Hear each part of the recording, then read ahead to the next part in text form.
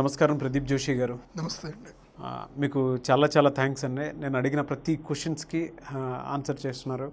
And ధారాళంగా ప్రతి విషయాన్ని అనర్గళంగా చెప్పగలుగుతున్నారు. అంటే అంత ఫ్లోని ఏ విధంగా మీరు చెప్పగలుగుతున్నారో నాకు తెలియదు కానీ but I'm very happy for that. మీతో ఏదన్నా డిబేట్ కానీ లేదంటే క్వశ్చన్స్ అడిగేటప్పుడు కానీ మళ్ళీ నాకు ఎవ్రీడే ఒక్కొక్క డౌట్ వస్తూ ఉంటుంది. నెక్స్ట్ ఏం అడిగితే బాగుంటుంది ఏం నాకున్న ఏ డౌట్ ఉన్నా సరే ఇది అడిగితే బాగుంటుంది ఇది అడిగితే బాగుంటుంది ఇది అడిగితే బాగుంటుంది. ఈవినింగ్ ఇక్కడ షూట్స్ అన్నీ కంప్లీట్ అయిపోయిన తర్వాత వెళ్ళి రాసుకుంటుంటే ఒక్కొక్కటి ఇది అడుగుదాం ఇది అడుగుదాం ఇది అడుగుదాం అని చెప్పేసి కొన్ని టాపిక్స్ ఎలా అనుకున్నాను. జన్మ రహస్యాన్ని అసలు తెలుసుకోవచ్చా? శ్రీ గురుభ్యో నమ. శ్రీమాత్రే నమ. అచింత్యావ్యక్తరూపాయ నిర్గుణాయ గుణాత్మనే సమస్త జగదాధారమూర్తయే బ్రహ్మణే నమ.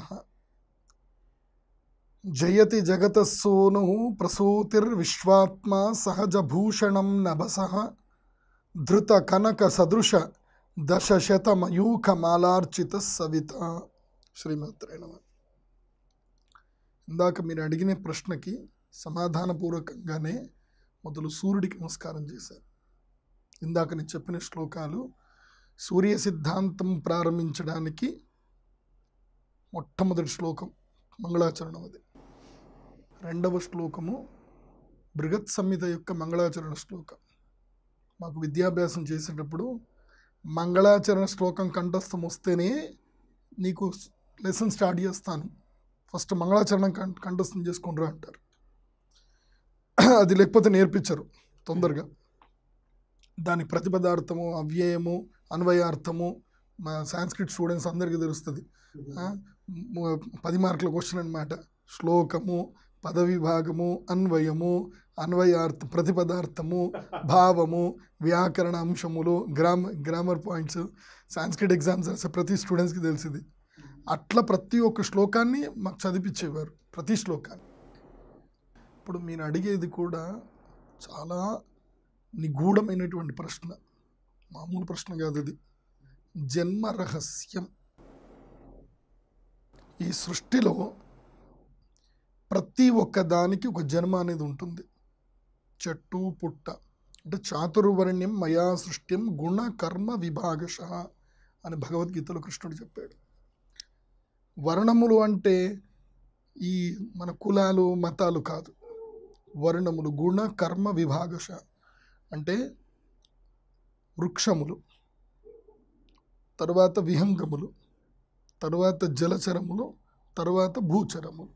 ఇవి నాలుగు విభాగాలు. అంటే నాలుగిట్లోనూ ప్రాణం ఉంటుంది. వృక్షాల్లో ప్రాణం ఉంటుందా ఉండదా? ఉంటుంది. అది మనకి జగదీష్ చంద్రబోస్ గారి యొక్క రీసెర్చ్ చదివితే కనుక అందరికి తెలుస్తుంది. వృక్షం లోపల ఎట్లా ప్రాణం ఉంటుంది ఏం కథ? ప్రాణం ఎలా ఫ్లో అవుతుంది? వృక్షాలు కూడా మాట్లాడుకుంటాయి. ఈ విషయాన్ని జగదీష్ చంద్రబోస్ గారు అప్పుడే చెప్పారు. ఎవరైనా బయాలజికల్ స్టూడెంట్స్ ఉంటే కనుక దీని మీద మీరు రీసెర్చ్ చేయవచ్చు. ఎందుకోసం అంటే నేను మాట్లాడే ప్రతి విషయంలోనూ కొన్ని రూట్ వర్డ్స్ ఉంటాయి. అవి మీరు తీసుకోగలిగితే కనుక you will become a great scientist అది నేను క్లియర్గా చెప్తున్నా.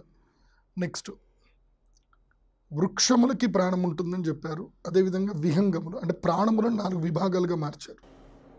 ఎందుకోసం అంటే మీరు అడిగింది ఏంది? జన్మ రహస్యము. జన్మలు ఎవరెవరికి ఉంటాయి కూడా తెలియాలి కదా మనకి ఫస్ట్. సో జన్మ ఎవరికి? కుర్చీకి జన్మ ఉంటుందా? ఉండదు కదా. ప్రాణం దేనికి ఉంటుందో దానికి జన్మ. జన్మ సో ప్రాణములు ఎన్ని విభాగములు అనేది మొదలు తెలియజేసుకోవాలి. చాతుర్వర్ణ్యం మయా సృష్టం గుణ కర్మ విభాగశ. సో నాలుగు వర్ణములు. అవి ఏంటి? గుణములను బట్టి కర్మములను బట్టి నేను విభాగం చేశాను. అవి చేసే పనులను బట్టి కూడా నేను విభాగం చేశాను అంటాడు భగవంతుడు. అందులోపల మొట్టమొదటివి చెట్లు. పాదపములు అంటారు. పాదై పిబంతీతి పాదపాహ.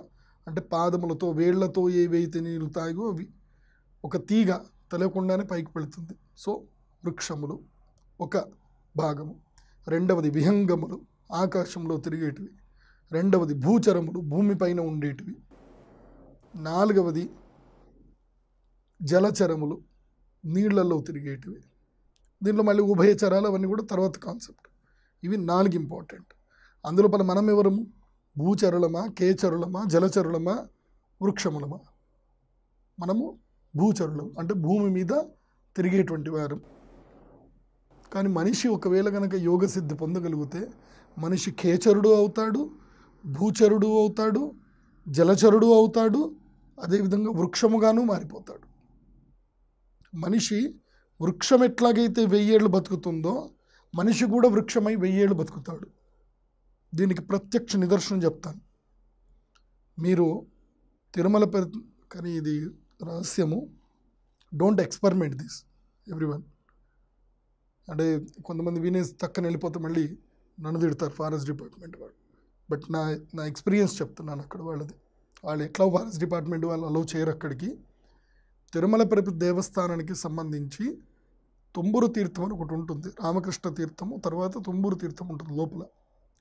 కేవలం కార్తీక పౌర్ణమికి మాత్రమే అలవెన్స్ ఇస్తారు. కొంతమందికి మాత్రమే. వాళ్ళు హెల్త్ సర్టిఫికేట్ అన్నీ ఇస్తేనే ఇస్తారు. చాలామంది ట్రెక్కింగ్కి వెళ్తామని చెప్పి వెళతారు. అప్పట్లో మేము వెళ్ళాం. నేను తిరుపతిలో చదువుకునేటప్పుడు మేము వెళ్ళాం తుమ్మూరు తీర్థానికి. చాలా అద్భుతమైనటువంటి ప్రదేశం అది. తుమ్మూరు తీర్థం అక్కడ ఇప్పటికి కూడా కొన్ని అద్భుతమైనటువంటి వృక్షాలు ఉన్నాయి హిమాలయ పర్వతాల్లో కూడా కొన్ని వృక్షాలు ఉన్నాయి వృక్షాలు ఉచ్ఛ్వాస నిశ్వాస తీసుకుంటాయి అన్న సంగతి మనకు అక్కడ తెలుస్తుంది. కొంతమంది యోగులు అక్కడ ఉన్నారు ఆ యోగులు తపస్సు చేస్తూ తపస్సు చేస్తూ వాళ్ళు సుషుమ్నా నాడి క్రియకు వెళ్ళిపోయి సుషుమ్నా క్రియకు వెళ్ళిపోయి వాళ్ళు వృక్షములుగా మారిపోయిన వాళ్ళు ఉంటారు. వాళ్ళ మీద వృక్షాలు పెరిగిపోతాయి వాళ్ళు వృక్షములుగా మారిపోతారు ఇంకా.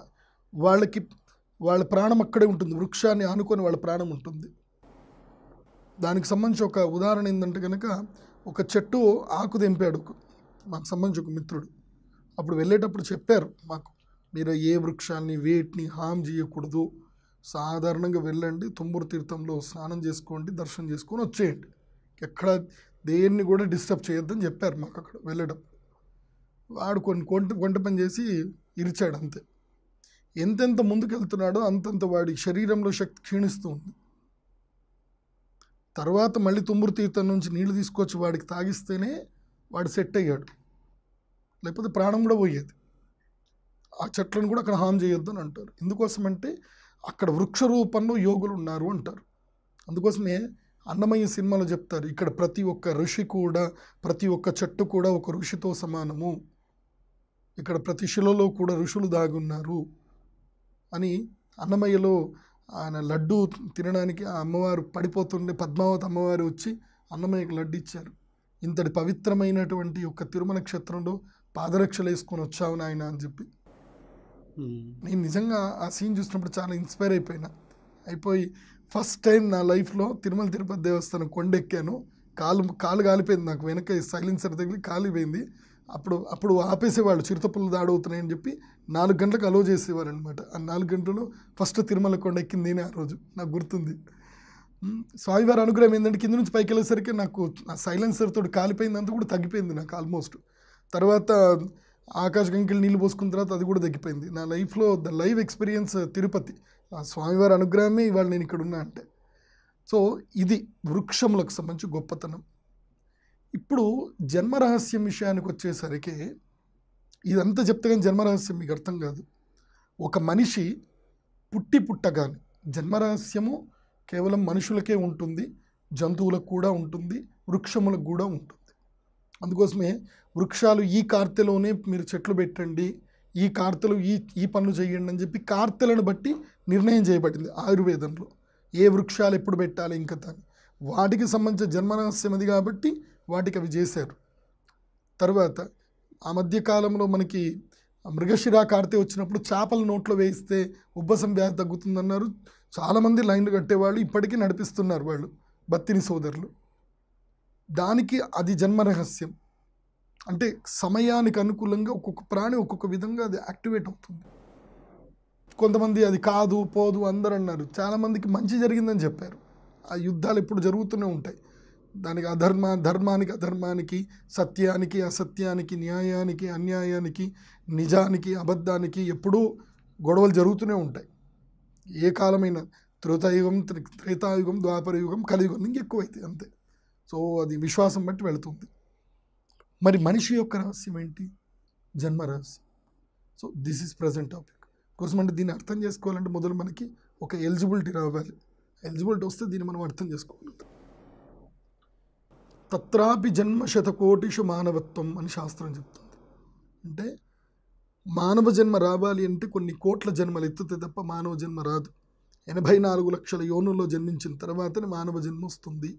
అంటే అక్కడ అన్ని ఎక్స్పీరియన్స్ తర్వాతనే మానవ జన్మ వస్తుంది. ఆ మానవ జన్మలో కూడా ఇవాళ నేను ఇలా మాట్లాడుతున్నాను అంటే కొన్ని వేల జన్మలు నేను కోట్ల జన్మలు ఎత్తిన తర్వాతనే ఈ యొక్క ఎక్స్పీరియన్స్ మాట్లాడే ఎక్స్పీరియన్స్ అనర్గళంగా కొన్ని కోట్ల వి- సంవత్సరాల ఎక్స్పీరియన్స్ జరిగింది కాబట్టి సూక్ష్మ శరీరం ద్వారా నేను ఈ జ్ఞానాన్ని స్థిరీకరించుకున్నాను. జ్ఞానం ఇప్పుడు నశించదు అది గుర్తుపెట్టుకో. ఇప్పుడు నువ్వు ఇదంతా వింటున్నావు నీ జ్ఞానం రికగ్నైజ్ అయింది అంటే నీ క్లౌడ్ నీకు అంటూ ఒక క్లౌడ్ ఉంటుంది అక్కడ పైన క్లౌడ్ స్టోరేజ్ ఉంటుంది. ఆ సూక్ష్మ శరీరంలో నిండిపోతుంది. మరో జన్మలో మరో జన్మలో మనం ఈ డిస్- డిస్కషన్ చేయొచ్చు ఇది నడవచ్చు. ఇట్స్ నాట్ ఏ ఇది మనం ప్రూవెనబుల్ కాదు అది. It's a believeness it's there so అలా ఒక జీవి పుట్టి పుట్టగాని ఫస్ట్ టైం ఇంపార్టెంట్ దానికి సంబంధించి జన్మ రహస్యాన్ని చెప్పేదే జ్యోతిషం అందులో జన్మ రహస్యానికి సంబంధించిన ఒక ప్రత్యేక గ్రంథాలు ఉన్నాయి తాళపత్ర గ్రంథాలు ఉన్నాయి. అవి ఇప్పటికీ వెలుగులోకి రాలేదు.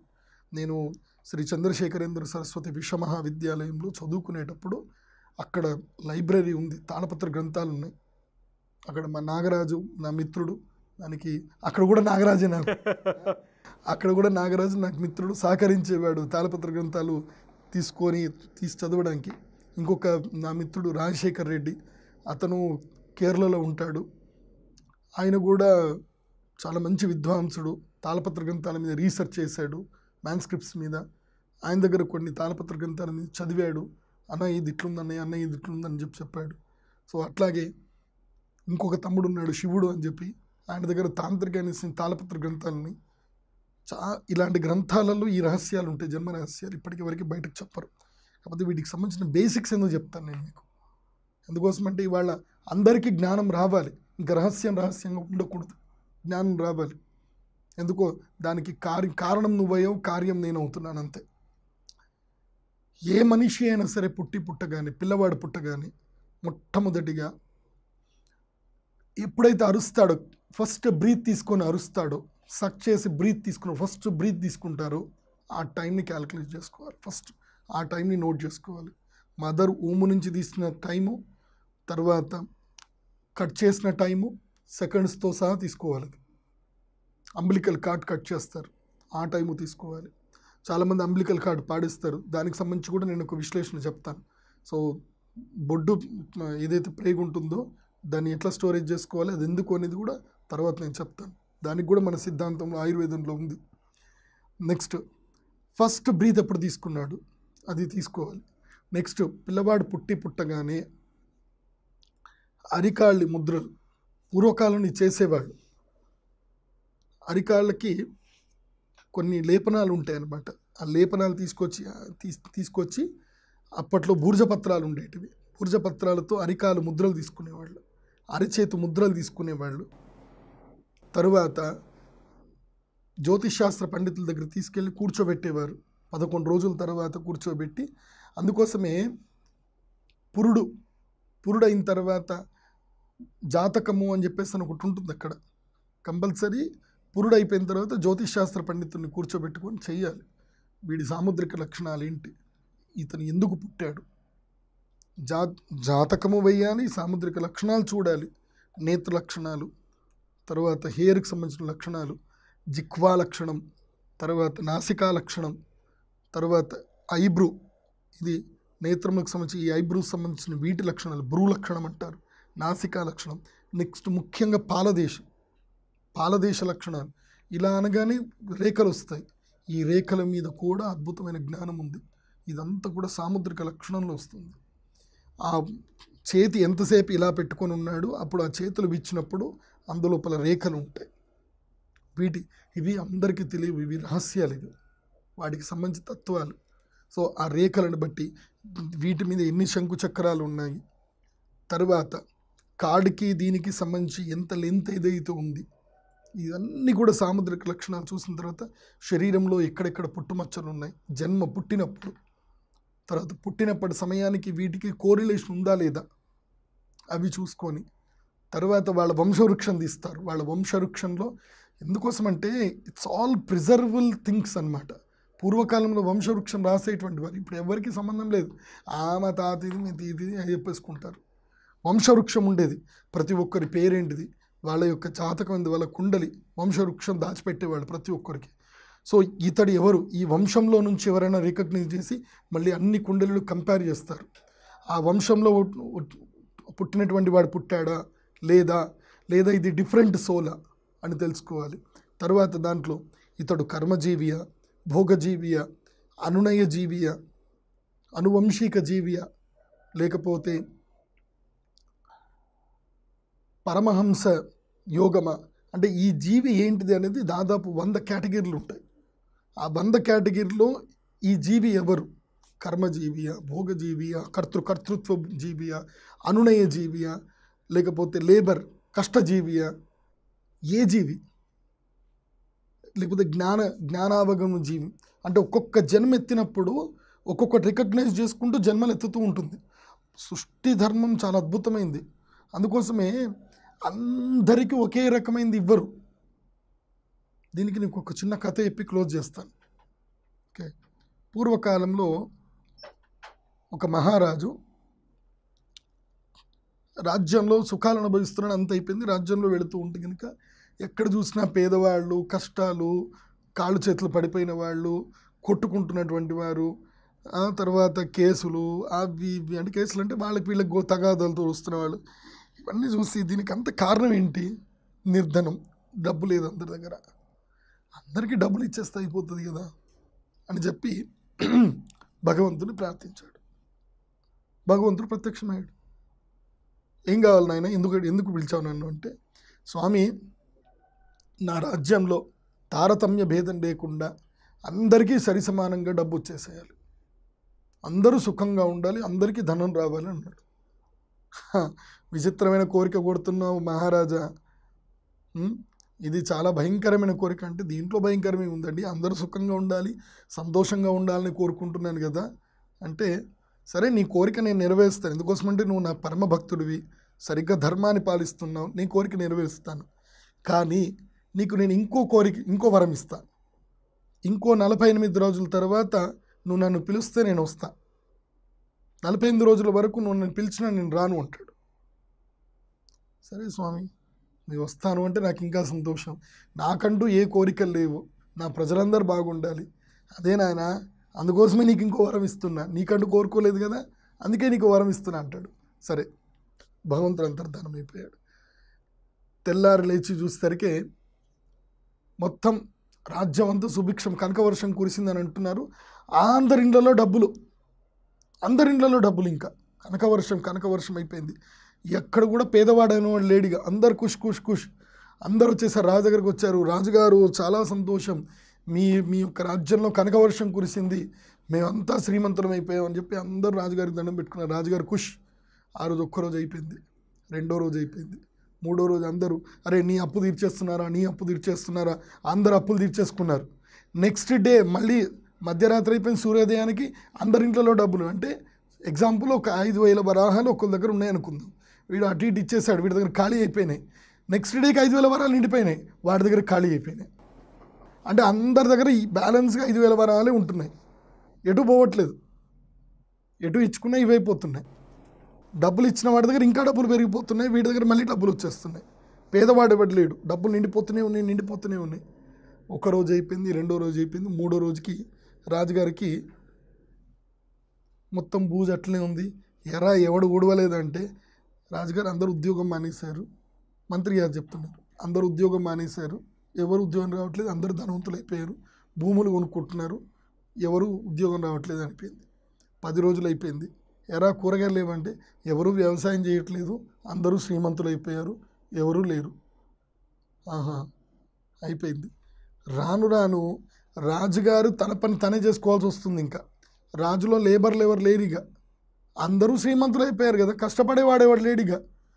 ముప్పై రోజులు అయిపోయింది. ధాన్యం కరువు వచ్చేసింది. ధాన్యం ఎక్కడుంది? ఎవడు పని చేస్తలేడు స్వామి. ఎవడు వ్యవసాయం చేయట్లేదు. ఎందుకు? అందరి దగ్గర డబ్బులు వచ్చేసాయి. నలభై రోజులకి ఏమైపోయిందంటే జనాలు కొట్టుకోవడం స్టార్ట్ చేసుకున్నారు ఒకరినొకరు. నువ్వు పని చేయరా? నువ్వు పని చేయరా? నేను ఎందుకు చేస్తా? నేను ఎందుకు చేస్తా? ఆఖరికి ఏ పరిస్థితి వచ్చిందనంటే రాజుకి తన బట్టలు తను ఉతుక్కునే పరిస్థితి వచ్చింది. రాజ్య పరిపాలన కాదు ఇక తన తను తను చేసుకునే పరిస్థితి వచ్చింది. రాజుగారికి అర్థమైపోయింది. ఓహో దేవుడా నీ సృష్టి రహస్యం నాకు అర్థం అవ్వలేదు ఇప్పుడు అర్థమైంది.